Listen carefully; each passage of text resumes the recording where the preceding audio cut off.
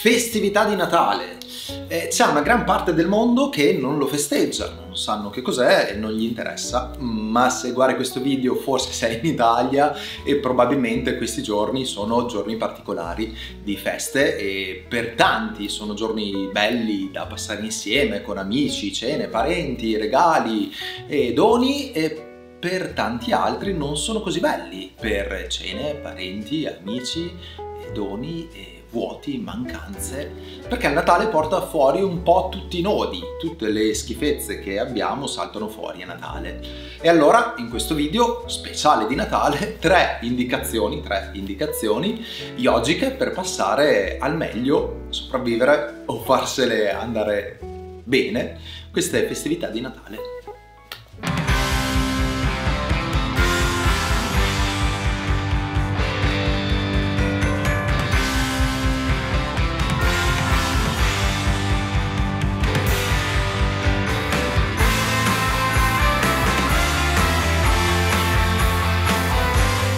Vivere meglio queste festività, da praticante non possiamo non partire dalle riflessioni su Samtosha, la pratica dello yoga che ci porta ad essere contento e sviluppare un senso di contentezza per ciò che c'è e per ciò che non c'è.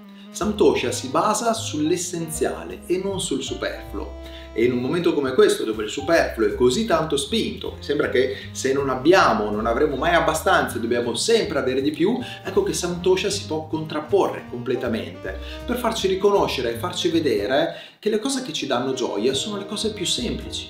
Passare del tempo con gli amici, tempo facile nel quale parlare, non nel quale dover dimostrare chissà cosa o dover scambiare chissà quali regali. Non sono i regali che ci faranno più felici, ma è il donare il tempo, è il donare la presenza di noi con gli altri. E allora essere capaci di riconoscere questo, essere capaci di riconoscere che abbiamo più tempo per i nostri cari in queste festività, nella maggior parte dei casi, può essere un valido strumento per essere pieni di gioia anziché sentire dei buchi. Secondo aspetto riguarda Ahara, che è la dieta.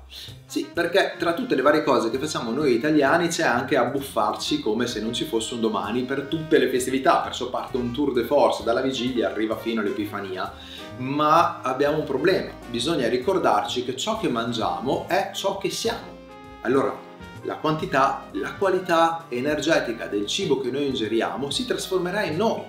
In parte diventerà noi stessi e di conseguenza che tipo di qualità voglio inserire dentro di me. Voglio essere quel tipo di persona o voglio essere quell'altro tipo di persona? Allora riuscire veramente a mangiare in maniera mh, cosciente e consapevole può fare la differenza perché, di nuovo, se buttiamo invece dentro delle cose che ci inquinano e che sono con una qualità bassa rispetto alla nostra possibilità di coscienza, questa inevitabilmente andrà giù e se va giù la coscienza sale ansia, depressione, senso di non gioia, come dicevo prima Samtosha, e scarsa capacità di entrare in connessione. Perciò curiamo la dieta, state attenti a quello che mangiate, per piacere.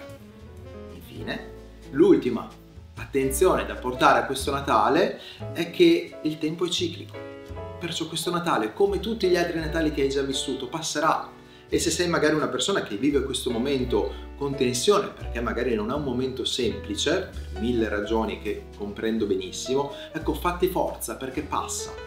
Passa e tra qualche settimana nessuno penserà più a queste festività e saranno andate e ripartirà la vita, perciò vai avanti e anche se c'è un momento eh, di ombra, un momento di afflizione, cerca di sviluppare le due tensioni di prima, perciò Santosha, attenzione alla dieta particolare con la certezza interna che questo momento passa, passerà, tutto passerà e anche le afflizioni che senti si trasformeranno. Porta pazienza, vai oltre e collegati con ciò che c'è di buono e di luminoso in te.